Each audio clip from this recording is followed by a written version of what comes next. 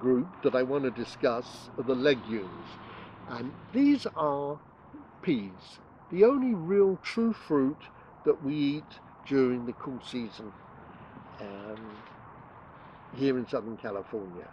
There are three main types of peas sugar snap, snow peas and shelling peas. They all require trellising on which to climb Usually these plants will grow to five to six feet tall.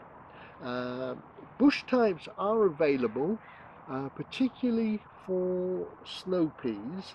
Um, and usually the packets say that they don't need trellising, but quite frankly, I would still trellis them.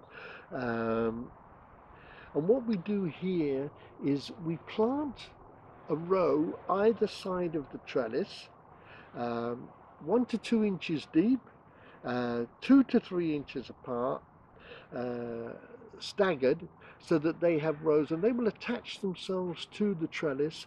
Uh, you need to harvest frequently uh, and uh, they actually do extremely well here in, in, in the gardens.